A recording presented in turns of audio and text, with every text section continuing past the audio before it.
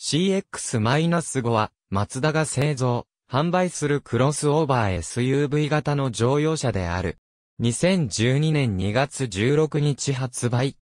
燃焼効率に優れた、スカイアクティブエンジンに加え、上質な乗り心地を実現している軽量、かつ高機能のスカイアクティブシャシー、操舵安定性や衝突安全性能を飛躍的に向上させた軽量光合成のスカイアクティブボディも採用しており、マツダの新世代技術、スカイアクティブテクノロジーを全面採用した初めての車種となった。なお、三代目プレマシー同様にバックドアには、マズダではなく、社名のエンブレムが左側に配置されている。また、右側に配置される、スカイアクティブ専用エンブレムも、デミオやアクセラのものから一新され、スカイアクティブテクノロジーとなっている。エンジンはアクセラに搭載されたポリエチレン、VPS 型 2.0L ガソリン、スカイアクティブ G2.0 に加え、新開発の SHVPTS 型 2.2L ディーゼルターボ、スカイアクティブ D2.2。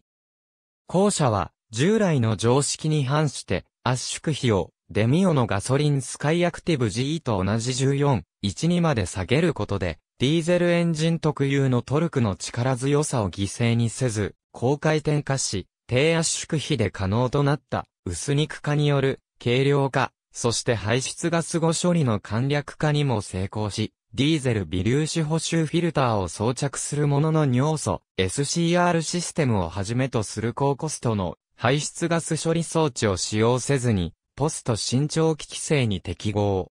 JC08 モードで 18.6km、L の優れた低燃費と 4.0LV8 ガソリンエンジン車並みの最大トルク 420Nm を両立している。2013年9月には PYVPS 型2.5リットルガソリンスカイアクティブ G2.5 が追加された。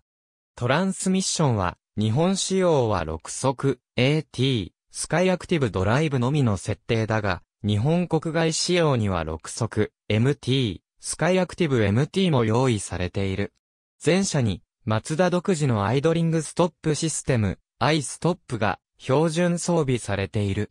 なお、本車種に合わせて開発されたディーゼル車用のアイストップは約0.40秒以内の瞬間再始動を実現している。デザインテーマ、魂動、ソウルオブモーションを全面的に採用した初の市販車となった。もっとも、魂道を採用する以前に、大方のデザイン自体は決まっていたため、同コンセプトの採用後は限られた範囲で、デザインラインの調整が行われた。デザインに関わった前田イクオアートに、正直言って理想にはまだまだ遠い状態でしたと、10回している。日本仕様は、ガソリン車が 20S、20S プロアクティブ、25S、25S プロアクティブ、25SL パッケージの5グレード、ディーゼル車が XD、XD プロアクティブ、XDL パッケージの3グレードの計8グレード展開する。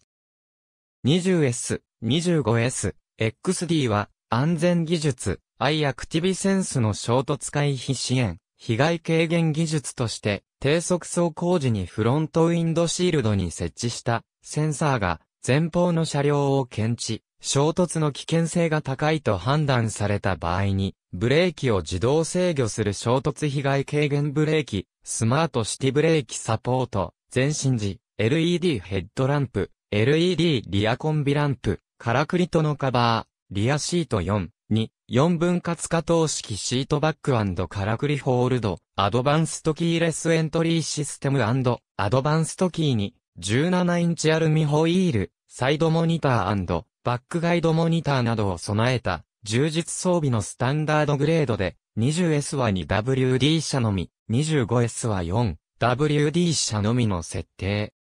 20S プロアクティブ、25S プロアクティブ、XD プロアクティブは 20S、25S、XD の主要装備に加え、前述の通り、i アクティブズンスの危険認知支援技術として、アダプティブ LED、ヘッドライト、ブラインドスポットモニタリング、レーンキープアシストシステムの3点を追加し、安全性能を高めたグレード。LAS は車線を認識することで、ステアリング操作トルクのアシストやステアリング、振動警報で運転操作をサポートするシステムで、前期型では 25SL パッケージ、XDL パッケージのみに標準装備されていた車線逸脱警報システムもセットされる。また、メーカーオプションとして、中高速での走行時の前方衝突の回避と、被害の軽減をサポートする、スマートブレーキサポート、設定した車速に応じた、車間距離を保つよう自動で車速を調節する、マツダレーザー、クルーズコントロール、交代時の衝突被害を軽減する、スマートシティブレーキサポート、交代時及び、AT 誤発進抑制制御、後退時、高速走行時のドライバーの運転状態をチェックして、適度な休憩を促す、ドライバーアテンションアラートなどをひとまとめにした、セーフティクルーズパッケージが設定される。25SL パッケージ、XDL パッケージは19インチアルミホイールを追加し、インパネデコレーションパネルは、マットヘアラインとサテンクロームメッキを、ドアトリムスイッチパネルにダークヘアラインを、ステアリングスイッチパネルに、ブラックとサテンクロームメッキを、ニーレストパッドとフロントアームレストに合成皮革を採用。さらに、プロアクティブ系では、メーカーオプション設定となっている、セーフティクルーズパッケージの装備品をすべて標準装備した最上級グレードである。マツダの新世代商品群の第1弾として発売された初代モデルから5年足らずで初のフルモデルチェンジを実施。エクステリアは前後トレッドを初代から約 10mm 拡大して台形フォルムとし、シグネチャーウィングの立体感を強めて、先端をヘッドランプ下側に通すデザインとした。フロントグリルは立体形状を組み合わせたパターンとし、ブランドシンボルをグリル面から突出させた。ボディサイズは全長がプラス 5mm、前高はマイナス 15mm、前幅とホイールベースは全く変更なし、と、先代とほぼ変わらぬサイズを維持している。インテリアでは、ドライバーを中心に操作機器や、ケーキ類を左右対称に配置。ステアリングホイールの中央から、インストルメントパネルの加色、左右の空調オルーバーの高さを揃え、ドアトリムの加色も水平基調の造形としたことが特徴。デコレーションパネルに新開発の可色フィルムを採用する、と、質感の向上を図った。フロントシートは、シートバックに体圧を分散できる、サスペンションマットを採用するとともに、シートバックの場所ごとに合成を最適化。リアシートは、シートの傾き角度を先代モデルから2度拡大すると、ともに、シートバックを倒せる、リクライニング機構を採用した。その他の機能面として、電動開閉式のパワーリフトゲート、フロントガラスに情報を表示するアクティブドライビングディスプレイを新採用した。初代同様、エンジンはポリエチレン VPS 型2.0リットルガソリン、スカイアクティブ G2.0、PYVPS 型 2.5L ガソリン、スカイアクティブ G2.5、SHVPTS 型 2.2L ディーゼルターボ、スカイアクティブ D2.2 の3種類を搭載。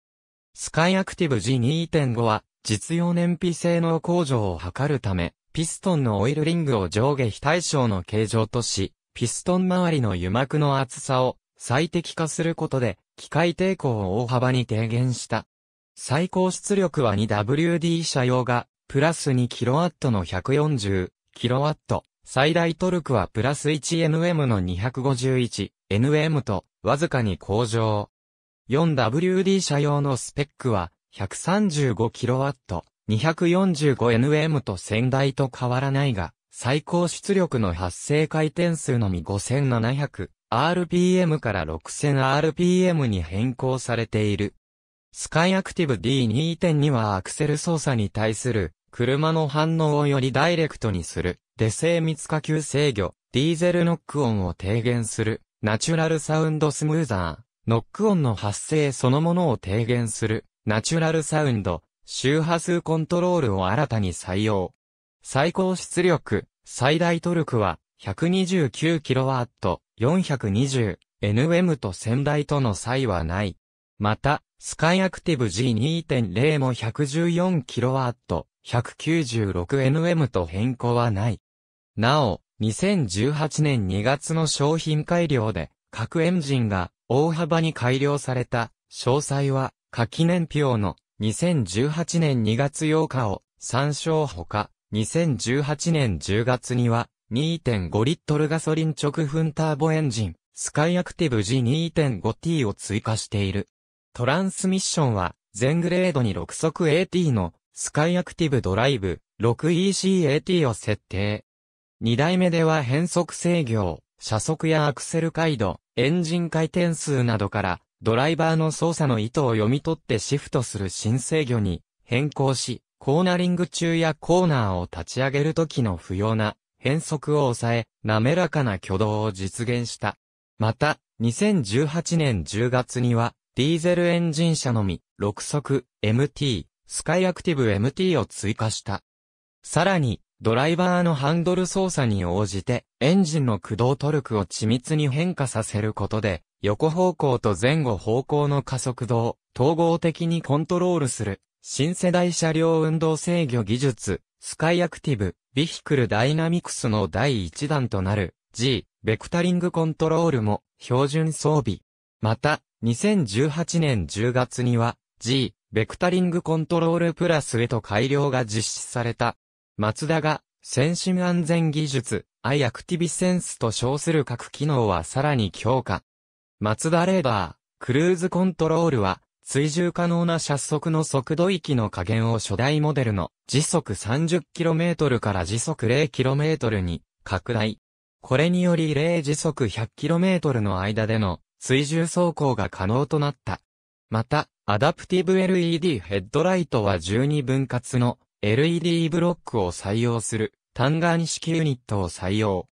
スマートシティブレーキサポートは、歩行者の検知も可能な、アドバンストスマートシティブレーキサポートに改良すると、共に、速度制限、進入禁止、一時停止の交通標識を認識して、アクティブドライビングディスプレイに表示する、交通標識認識システムを新たに採用した。なお、発売後に実施された商品改良において、各機能の標準装備グレードの拡大や、機能強化を随時実施している。ありがとうございます。